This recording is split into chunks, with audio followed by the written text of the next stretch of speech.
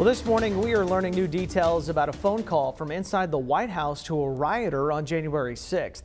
Now, the man you are seeing on your screen, 26-year-old Anton Lunyk from Brooklyn, was the person who received a call via the White House switchboard on the day of the insurrection.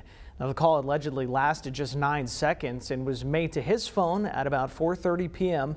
Now, it's not known whether there was an exchange or if the call went straight to voicemail.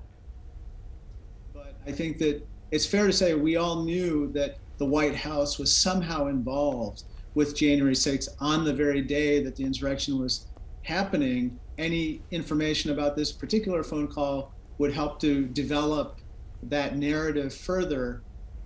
Now, CBS News did reach out to Lunyk through his attorney to get more details on that call, but there was no response. The next January 6th hearing is set to take place tomorrow.